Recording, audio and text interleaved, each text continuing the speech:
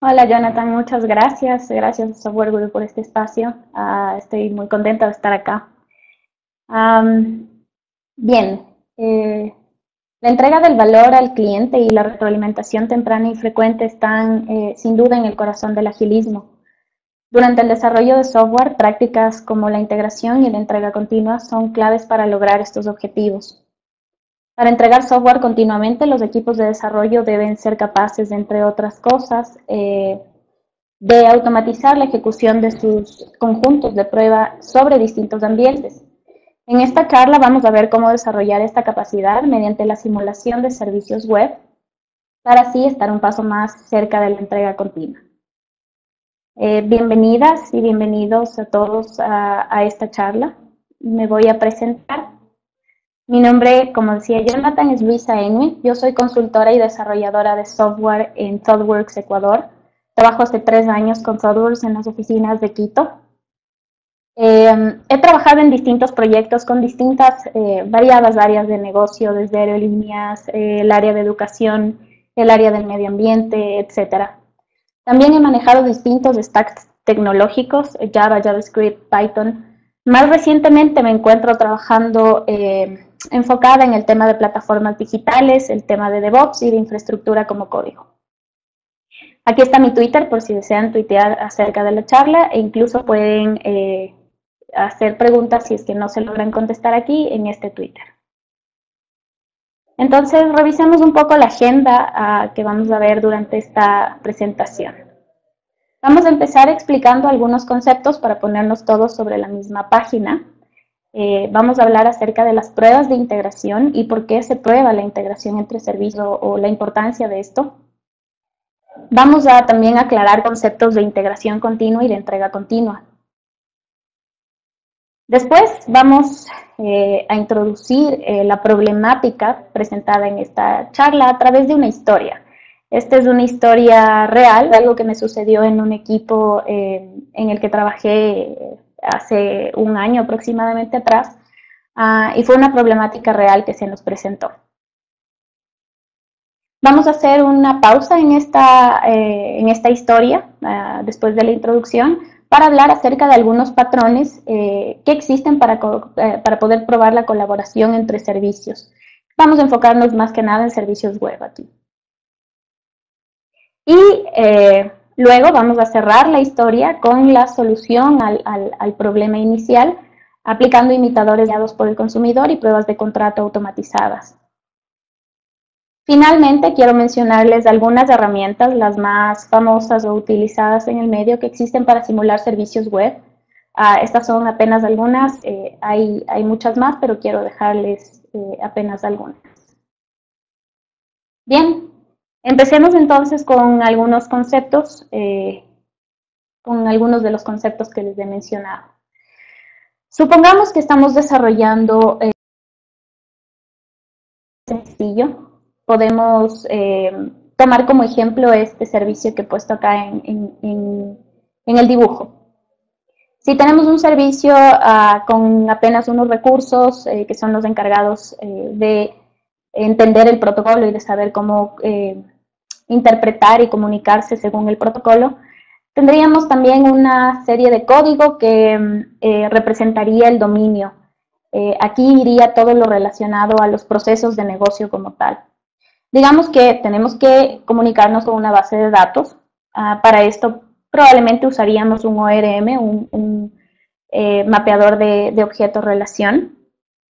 Y finalmente, si tenemos que comunicarnos con algunos servicios web, eh, utilizaríamos o tendríamos algunas clases dedicadas eh, como clientes HTTP. Entonces, si hemos hecho el desarrollo de esta aplicación, de este ejemplo, con TDD, lo cual espero que, eh, que todos entiendan, Test Driven Development, ¿cierto? Desarrollo guiado por pruebas, Tendríamos o terminaríamos con un conjunto de pruebas unitarias que nos darían a muchísima confianza en que las pequeñas porciones de código que hemos desarrollado hacen lo que esperamos que, hagan. Eh, sin embargo, existen otro tipo de pruebas, otro nivel de pruebas, y aquí entran las pruebas de integración. Las pruebas de integración lo que hacen es verificar la comunicación para detectar defectos a nivel de la interfaz. Eh, las pruebas de integración con bases de datos o con servicios externos nos benefician con una retroalimentación bastante rápida eh, y chequean que la comunicación pueda darse. Eh, son importantes ya que las pruebas unitarias por sí solas no nos proveen garantías sobre el comportamiento del sistema y mucho menos sobre la comunicación de nuestro sistema con las dependencias externas.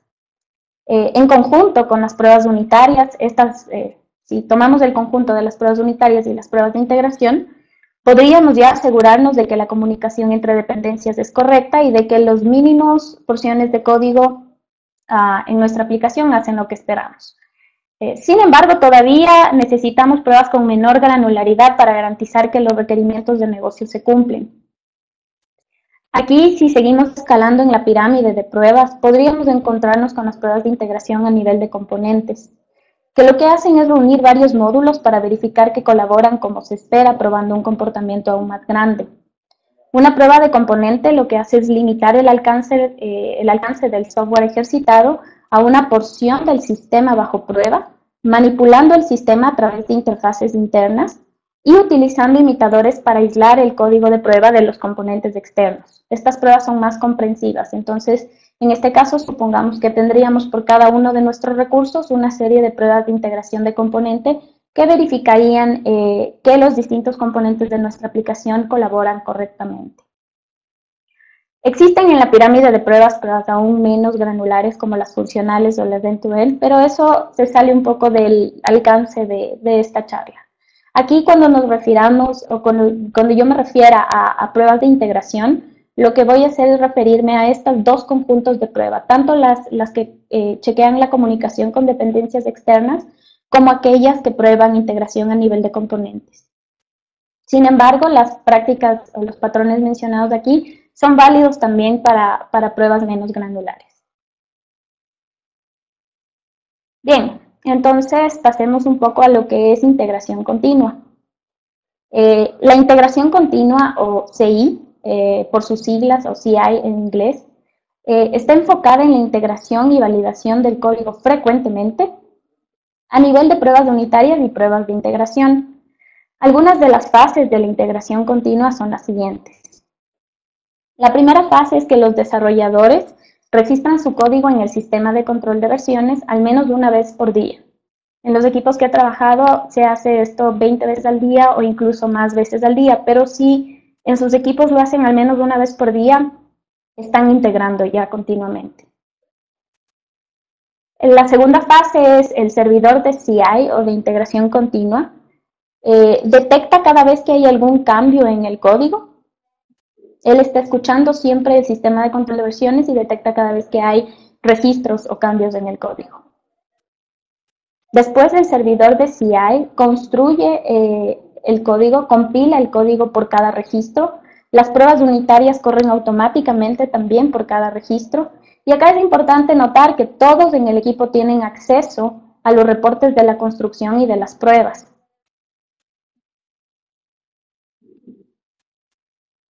Bien, una parte clave es que la construcción del código es rápida. Los desarrolladores pueden obtener retroalimentación inmediata ante posibles errores, es decir, si las pruebas fallan, van a poder eh, notar que estas pruebas fallaron de manera rápida y corregir los errores antes de continuar trabajando sobre un código roto.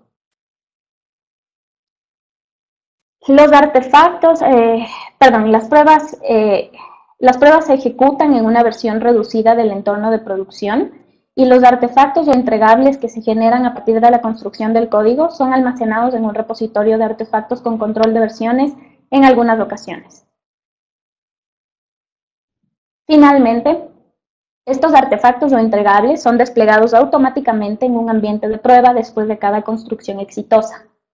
Aquí el cliente puede ver cambios en tiempo real y puede realizar pruebas de aceptación, que en el contexto de integración continua vienen a ser pruebas manuales que realiza el cliente para verificar funcionalidades completas. Esto es integración continua.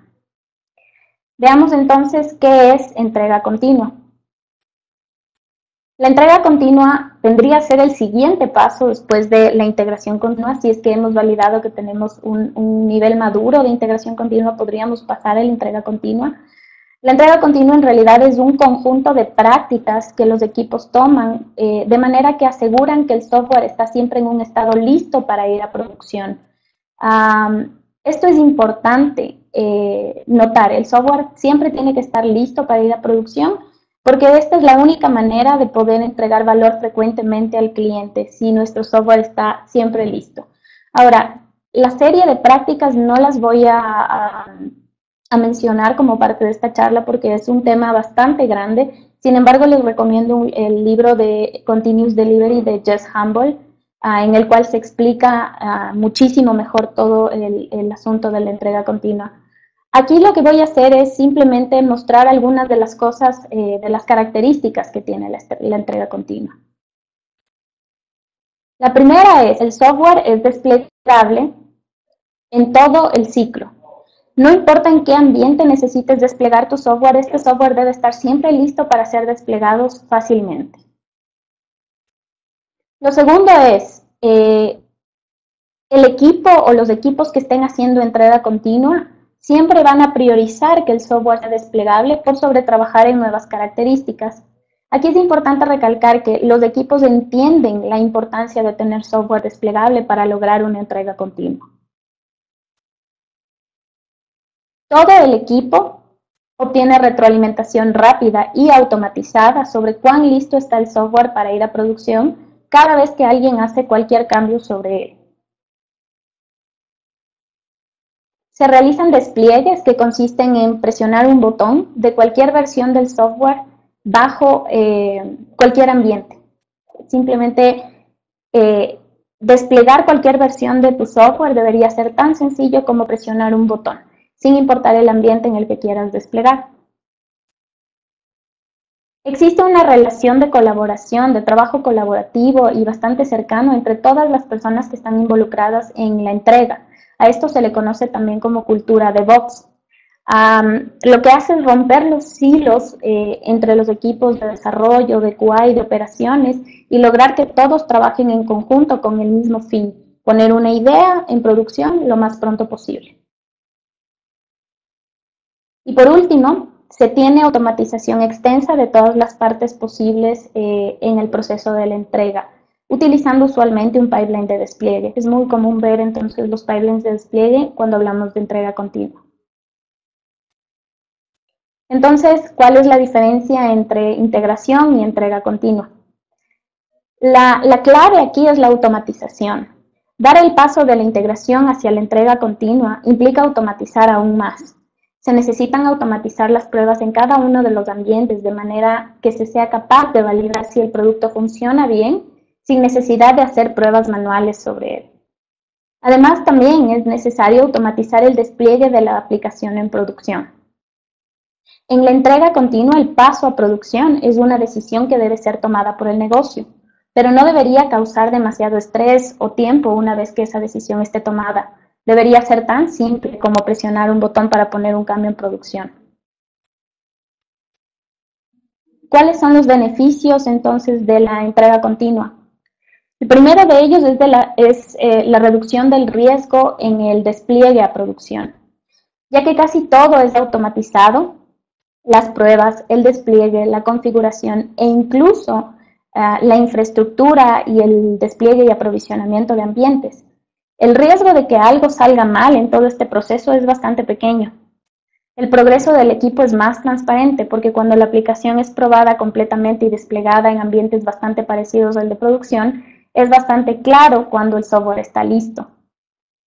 Lo más importante aquí es la rápida retroalimentación. Se disminuye el riesgo de implementar una idea que podría no funcionar para el usuario final ya que es posible obtener retroalimentación temprana con este usuario final en lugar de esperar meses o incluso años. No tendríamos que estar meses eh, desarrollando una funcionalidad, sino que podríamos estar probando continuamente ideas pequeñas y, y así tener menor riesgo de implementar algo que podría no funcionar al final. Ah, es muy común, eh, he visto comúnmente que hay una confusión entre la entrega continua, el concepto de la entrega continua y el despliegue continuo, ya que ambos en inglés tienen las mismas siglas, CD, a Continuous Delivery y Continuous Deployment. hay bastantes diferencias en torno a esto que tampoco voy a, voy a tomar todas estas diferencias, pero al menos quiero mencionar que en el caso de la entrega continua estamos hablando de un despliegue manual a producción, eh, estamos hablando de que el despliegue se realiza por una decisión tomada a partir del negocio. El despliegue continuo es otra serie de prácticas que permiten poner cada uno de los cambios que son registrados en el sistema de control de versiones directamente en producción, sin, sin ninguna intervención manual en el proceso. Bien, entonces esos fueron los conceptos para ponernos todos en la misma página de lo que estaremos hablando. ahora quiero introducirles esta historia una historia real, como les había contado. bien, tenía, yo era parte de un equipo hace un año en el cual estábamos desarrollando una API para un cliente. Era una API, al inicio era una API bastante sencilla, eh, era una API REST construida con el em, stack tecnológico de Java. Teníamos un par de recursos que eran simplemente como los equivalentes a nuestros controladores teníamos una serie de clases o servicios que eran parte del dominio de, esta API y eh, en un inicio lo único que necesitábamos era comunicarnos con una base de datos MySQL. Ah, por tanto, utilizábamos un ORM llamado Hibernate ah, para esto. Entonces, ah, como todo lo que hacemos dentro de software, siempre eh, aplicamos TDD o desarrollo guiado por pruebas en todos los proyectos.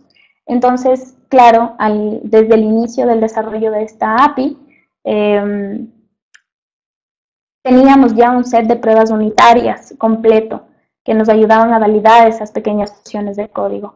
Estas pruebas unitarias de nuestro pipeline eran lo primero en ejecutarse. Una vez que estas pruebas unitarias pasaban, podíamos seguir con las siguientes fases de nuestro pipeline. En este caso estábamos usando Jenkins como pipeline de, despliegue. Ah, bien, los ambientes que disponíamos en este cliente eran un ambiente de QA, un ambiente de preproducción y un ambiente de producción. El de QA y preproducción eran ambientes netamente para pruebas, eh, uno más parecido a producción que el otro. Eran como una serie de fases que iban pareciéndose un poco más al ambiente productivo.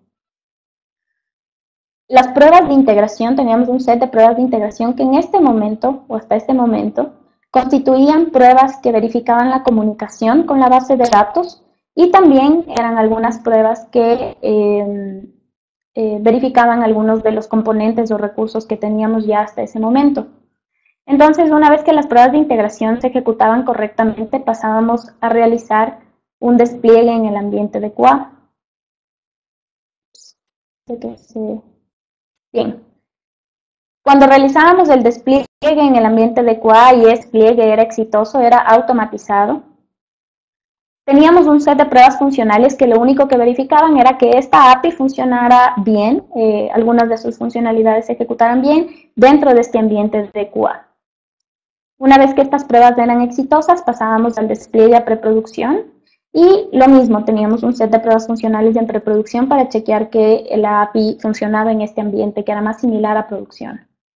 Finalmente, una vez allí llegaba nuestro pipeline automático y esperaba a que la decisión sea tomada por el negocio. Cuando el negocio quería ya desplegar algún set de funcionalidades en producción, simplemente podía ir a Jenkins, dar un clic y empezar, se empezaba a ejecutar estas fases o estos jobs. El despliegue a producción Finalmente, un set de pruebas de humo que lo que hacían era eh, apuntar hacia el health check, el, eh, el health check de nuestra API, para saber simplemente que estaba viva en el ambiente de producción y se había desplegado bien. Eso era todo. Cuando nuestro pipeline estaba totalmente en verde, podíamos ver, los que estén familiarizados con Jenkins, podíamos ver este sol, de que todo iba bien. Y así fue durante el tiempo que nuestra API lucía de esta forma. Sin embargo, muy pronto empezaron a, surgir historias de usuario que necesitaban que nosotros nos integremos con servicios web. Aquí eh, empezamos integrándonos con un servicio web, por tanto teníamos ya algunos clientes HTTP. Pero muy pronto cada vez iban surgiendo más y más historias de usuario que necesitaban que nos integremos con más servicios web. Llegamos a tener, recuerdo, una integración con alrededor de siete servicios web externos, una mezcla entre SOAP, servicios web SOAP y servicios web REST. Entonces se, empezó a complejizar bastante esta aplicación. todos los proveedores de estos servicios externos, que eran totalmente externos al cliente, incluso eran proveedores externos al cliente, lo que hicieron fue disponibilizarnos una instancia compartida de cada uno de sus servicios eh, en un ambiente compartido, ¿cierto? Que podíamos acceder a través de la red. A esto se le conoce como el modelo Software as a Service o SaaS. entonces nuestros ambientes de prueba, el ambiente de QA y el de preproducción apuntarían hacia cada una de estas instancias compartidas de los servicios externos. Algunos de los retos con este tipo de modelo. Entre ellos, el primero es la contención de datos entre equipos. Nosotros no éramos el único equipo que consumía esta instancia compartida. De hecho, esta instancia compartida de pruebas era también, de alguna manera, el ambiente de QA del equipo de desarrollo de ese servicio web. Entonces, era el equipo de desarrollo el que hacía cambios sobre ese servicio web, eh, no solo en, cambios en el código, sino también en el estado del servicio web, hacía pruebas. Y eh, teníamos muchos otros equipos que necesitaban integrarse allí también. Ah, por tanto, no éramos los únicos. La probabilidad de que el servicio no nos respondiera con lo que nosotros esperábamos era alta. Porque supongamos que necesitábamos crear un set de datos y nosotros esperábamos que el servicio nos responda con un, ok, fue creado, todo bien. Sin embargo, eh, la probabilidad era alta de que el servicio nos responda, no, esa información ya existe dentro de, mi sistema y nosotros no teníamos eh, alguna manera tampoco de verificar eh, o de automatizar nuestro set de pruebas, se complejizaba la automatización de ese set de pruebas.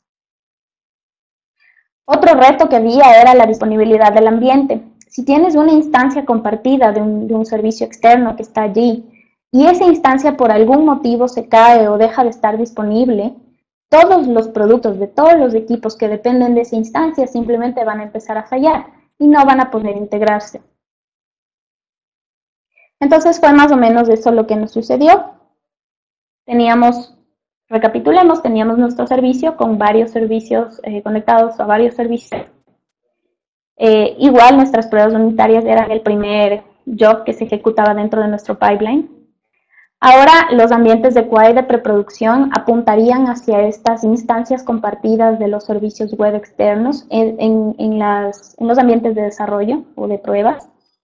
Y el ambiente de producción apuntaría a las versiones de producción de cada servicio web. Lo que sucedió fue que un día uno de estos servicios web externos se cayó, no estuvo más disponible y nosotros necesitábamos entregar un feature, por tanto nuestro pipeline empezó a ejecutarse y ahora el job de pruebas de integración del pipeline, que contenía ya no solo la integración con la base de datos, sino también pruebas de integración con los servicios externos y pruebas de componente que se acoplaban a estos servicios externos, se cayeron. Estuvieron en rojo y estuvieron en rojo durante demasiado tiempo. En realidad, la solución de este problema tomó entre dos a tres semanas.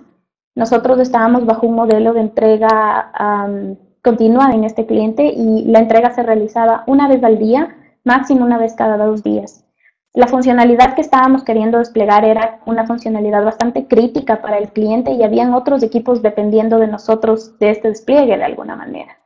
Entonces, sí, fue un big issue para el cliente, fue eh, un, impacto bastante grande y no había nada que podamos hacer, a pesar de que tratábamos de comunicarnos con las personas para que resuelvan el problema, eh, parece que el problema era bastante grande y tomó más tiempo del esperado. En realidad nos bloqueamos.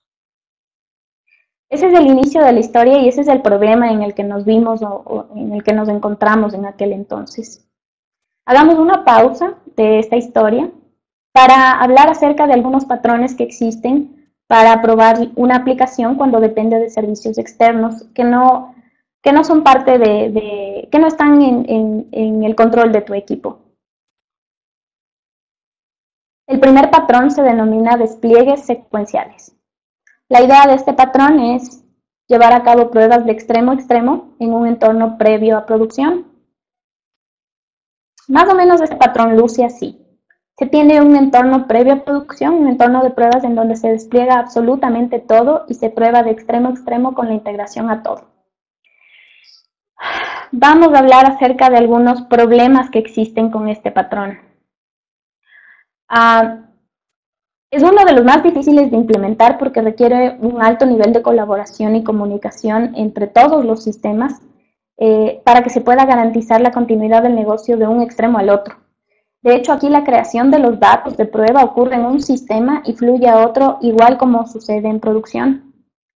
Para implementar esto se requiere un alto nivel de colaboración y conocimiento en los procesos de negocio como en el flujo de datos entre los sistemas. De manera que los individuos necesitan tener acceso y un gran conocimiento de varios sistemas para poder crear datos de prueba eh, requeridos en sistemas upstream, de modo que estos también puedan fluir a eh, downstream. Algunos pros de este patrón es que los flujos de negocio son bastante comprensivos a través de las pruebas que se realizan acá. Eh, son muy, muy enfocados al negocio, son casi pruebas end-to-end. end se asegura el funcionamiento con la integración a todos los sistemas. Entonces, si las pruebas pasan, eh, se asegura que todo funciona bien. Sin embargo, las contras de este patrón es que hay un alto acoplamiento de despliegues. Si no estamos hablando de un monolito, sino de distintos servicios que se están desplegando con distintos equipos trabajando sobre ellos, la coordinación entre despliegues es muy compleja. Es muy caro este patrón porque se requiere tener todo un ambiente de preproducción, muy similar al de producción para poder tener todo levantado ahí. Por lo tanto, mantenerlo es muy caro. Y definitivamente no es amigable con la automatización. Es muy difícil crear datos de prueba eh, que sean válidos para todos los sistemas eh, durante todo el flujo del proceso. Por tanto, aquí generalmente lo que se hacen son pruebas manuales. El siguiente patrón, otro patrón que existe, se denomina ambientes aislados. Aquí la idea es que el proveedor del servicio te va a proporcionar despliegues automatizados permitiéndote desplegar su servicio en tu ambiente. Y luce algo así. Eh, para implementar este eh, enfoque se utiliza virtualización, se utiliza aprovisionamiento automatizado, contenedores como Docker, incluso eh, automatización de la infraestructura. La idea es que cada uno de los servicios externos o los proveedores de los servicios externos tienen un alto nivel de automatización de su infraestructura y te permiten desplegar ese servicio en cualquier ambiente que tú quieras. Hay algunos pros, entre los cuales se encuentran el hecho de que eh, el conjunto de datos de prueba es bastante flexible porque cada una de tus pruebas pueden, las pruebas pueden preparar su propio conjunto de datos, ya que no hay acoplamiento con otros equipos. Y se prueba contra servicios reales que corren localmente en una máquina virtual o en un contenedor. Las contras de este, de este patrón es que se requiere una muy buena automatización de la infraestructura de todos los servicios externos eh, que estés consumiendo para que puedan correr sobre cualquier ambiente. Y esto es realmente difícil de tener. No todos los servicios están, externos están disponibles para ser desplegados en un ambiente con, eh, con este patrón. Existe otro modelo que se llama el modelo SAS y ya lo habíamos mencionado en la primera parte de la historia. Aquí se trata de utilizar una instancia de pruebas del servicio externo que está desplegado en un ambiente compartido, eh, en un ambiente compartido básicamente. Luce algo así, como ya habíamos visto. pues en este modelo los pros es que es bastante fácil de implementar y soporta de cierta manera pruebas de integración comprensivas. Sin embargo, los contras, como habíamos mencionado, son los recursos y la contención de datos con otros equipos. Es bastante difícil gestionar los datos de prueba a menos de que se puedan manipular a través de una API. Y aún así, con la manipulación disponible eh, de los datos a través de una API, es complicado. Las pruebas pueden llegar a fallar incluso debido a problemas relacionados al ambiente en el que se encuentra desplegada la instancia de pruebas de este servicio externo. Entonces, ah, tenemos otro patrón que se llama pruebas de contrato guiadas por el consumidor. Aquí la idea es establecer un contrato entre el productor y el consumidor y hacer cumplir estos contratos con pruebas automatizadas. Más o menos así. La intención es crear un contrato compartido entre un proveedor y varios consumidores y se previenen despliegues eh, si es que el contrato está roto, uno de los contratos está roto. Aquí la idea es que cada uno de los consumidores provee los contratos que espera de ese proveedor. Estos contratos se suben a un broker y eh, el proveedor del servicio, cada vez que hace cambios en su, en su producto, en su servicio, va a ejecutar pruebas automatizadas contra estos contratos que están en el broker y si alguno de esos contratos se rompen con algún cambio, ellos pueden prevenir el despliegue de, este cambio, ¿cierto? Hasta resolver los problemas. La herramienta ideal para implementar este enfoque actualmente es una de las variantes de PACT. Ah, los pros de este enfoque es que cuando no funciona, cuando se rompe algún contrato, es culpa del productor. Los contras es que es culpa del productor y no hay nada que tú puedas hacer. Volvemos al mismo problema con el modelo SaaS, en donde si la instancia no está disponible, no hay nada que tú puedas hacer que esté en tus manos o en manos del equipo para poder continuar entregando ah, con la misma calidad o la misma confianza. Y por último, el último patrón que existe y el foco de esta charla eh, se llama imitadores guiados por el consumidor. Aquí se crean imitadores de los servicios externos y si se desea mayor seguridad, eh, es una recomendación agregar pruebas de contrato. Luce algo así. Aquí se utilizan herramientas que te permiten simular servicios externos, ah, que permiten ser desplegadas en ambientes eh, locales o en cualquier ambiente que tú requieras. y estas se configuran a estos simuladores para que respondan según lo que vas necesitando. Los pros es que obviamente se tiene el control del propio destino, porque ahora ya dependo sobre algo sobre lo cual tengo control, o puedo manejar o puedo resolver si, si se presenta algún problema. El manejo de datos de prueba es bastante sencillo y es fácil reproducir condiciones que son difíciles de reproducir en sistemas reales. Por ejemplo, con este tipo de herramientas es muy sencillo eh, hacer casos de prueba eh, que tomen en cuenta la latencia de la red. ¿Qué pasa si la latencia de red eh, aumenta, si la latencia del servicio aumenta? ¿Qué pasa si es que el servicio me responde con un service unavailable? Si yo uso un servicio real, no tengo forma de forzar eso. Sin embargo, con los limitadores yo puedo realizar pruebas fácilmente ante estos casos. Los contras aquí o los riesgos más que nada son la integración, es, la integración con malos entendidos. Es muy probable de que tú estés imitando y estés devolviendo contratos eh, o respuestas que no sean iguales a lo que el servicio real respondería. este riesgo puede minimizarse acompañando este patrón con pruebas de contrato o incluso algunas de estas herramientas de los, eh, que te permiten imitar servicios eh, te permiten configurarlas para que la primera llamada siempre sea hecha al servicio real y luego guarda esa respuesta en caché y te sigue respondiendo con esa respuesta. Tú puedes decir cada cuánto eh, o cada cuántas llamadas el servicio va a hacer una llamada al, real. De esta manera lo que estarías haciendo es tomando la respuesta del servicio real, almacenándola y eh, respondiendo o dando la respuesta del servicio real en conjunto con tu imitador. Entonces, eh, cerremos la historia, la historia que empezamos. Eh, recapitulando, teníamos un servicio que lucía más o menos así, con la integración a algunos servicios web. Lo que hicimos fue reemplazar todos esos servicios web para nuestros ambientes de prueba con un simulador. Ah, en este caso utilizamos Stubi4J. Es una herramienta bastante flexible, altamente configurable. Eh, es para Java, tiene versiones para otros, eh, para otros stacks tecnológicos. Ya vamos a hablar un poco más acerca de estas herramientas. Pero eh, usamos Study4J y la idea es que este Study4J iba acompañando el despliegue de nuestra aplicación en todos los ambientes de prueba. Y ahí simulamos todas las respuestas de nuestros servicios web. Entonces las pruebas unitarias otra vez se ejecutaban, pasaban y las pruebas de integración, como ya no dependían de ningún servicio externo, pasaban también. Es importante notar que QA y preproducción ya no apuntaban hacia los servicios externos compartidos, sino que eh, dependían del simulador, simplemente la aplicación se desplegaba en conjunto con el simulador.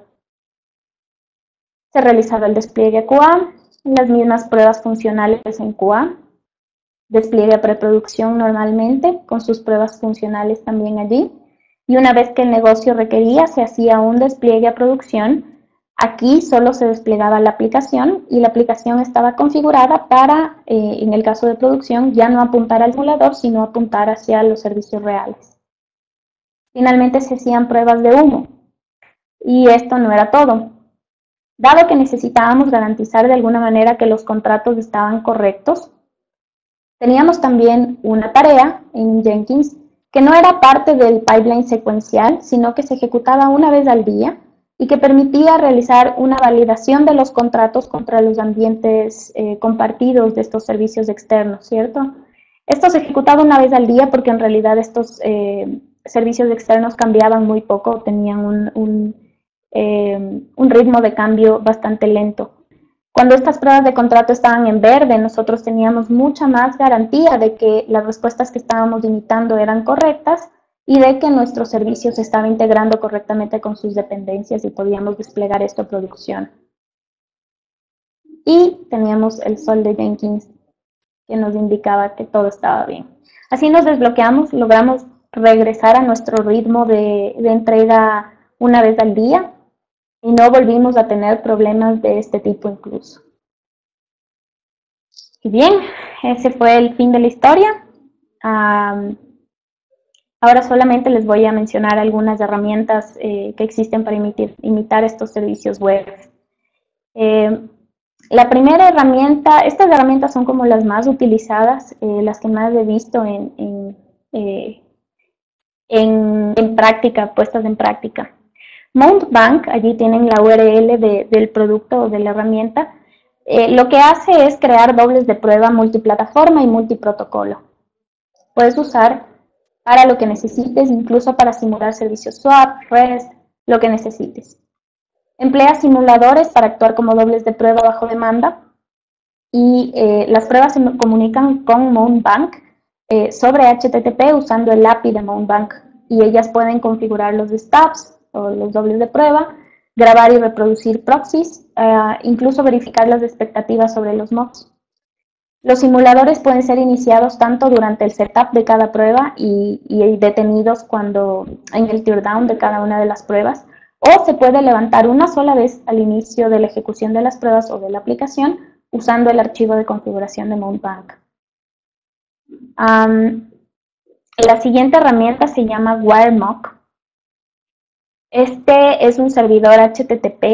Eh, en su núcleo tiene un servidor web que puede ser preparado para servir respuestas específicas a peticiones particulares. Esto se le denomina stabbing.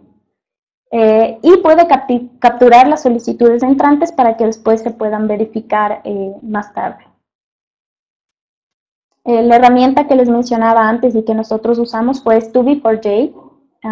allí tienen igual la URL de Stubby4j es interesante que Stubby4j es una, es, es una implementación para Java, pero también hay las versiones de Stubby4Node para Node.js o Stubby4Net para aplicaciones.net. Eh, aquí Stubby es en realidad un, un un servidor Jetty, eh, que despliega el simulador internamente y que te permite simular estos sistemas externos con bastante facilidad la curva de aprendizaje de Stubby es, muy, muy sencilla, es muy suave. Y mm, eh, se vale de un archivo YAML eh, en el cual tú puedes definir absolutamente todos los endpoints o las rutas que quieres simular y todas las respuestas que quieres emitir a, a requests específicos. Es bastante configurable e interesante. Con esto hemos terminado. Esa es toda la charla que tenía preparada para ustedes. Espero les, sea de ayuda, uh, les haya sido de gusto.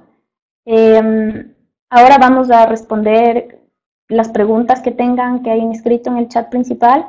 Si queda alguna pregunta que no podamos responder, por favor, pueden escribirme igual directamente al Twitter. Ah, perfecto. La herramienta que seleccionaste es la que hace simulación y cada cuánto tiempo pregunta al servicio real. Bien, esta es una pregunta de Jesús.